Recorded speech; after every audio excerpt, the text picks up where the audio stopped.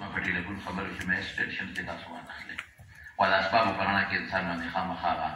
دغه راځي ټینشن راځي د دې مدرسې بنیاد زموږ شیخ شیخ الحدیث رحمت الله علیه په اخلاص خو ده دا ماته پته د دې دې را ماته پته او د دې مدرسې خدمت اصل د الله په ذات غیر په اخلاص کې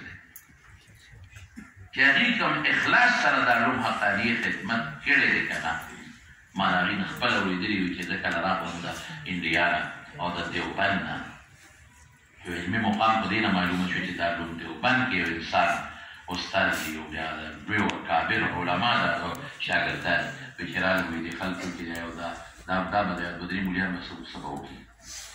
الحمدلله لاندې د کلي په جومات کې مدرسه وه د موالد صاحب هلته طالب پاتې شوی د کلي په هغه محله کې د دوی په جومات کې او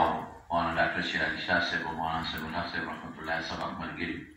مولانا حبیب الله صاحب ودنو د تنګي او قاضي صاحب دي د قاضي فلمنان صاحب او قاضي فضایان صاحب دي دا ملګري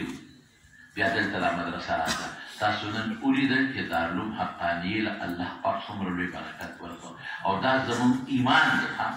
دا ایماني خبره درته کوم چې دا دارلوم به خدای پاک چاته نه ښکته کوي انشاءالله انشاءالله دې بول به بالا وي انشاءالله نن د دې دارالعلوم بچي دا په دنیا کې پراته دي او د دین خدمت کوي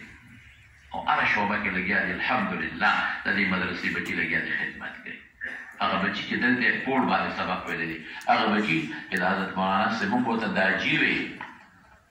زما والد صاحب ورته داجي وي چې حضرت مولانا صاحب رحمت الله علیه چې هغه سره په کوم پوړ چا ناستې کړي دي د مولانا صاحب مبارک شهید رحمت الله علیه سره چا ناستې کړي دي نن هغه د دنیا د ملت زعماو کې شمېر دي او نن لګیا دی الحمدلله په هر ځای کې په تعلیم او تدریس او هر میدان کې د دین خدمت دی او روان دی انشاءالله او دا به کېږي انشاءالله داسې وړه خبره نه ده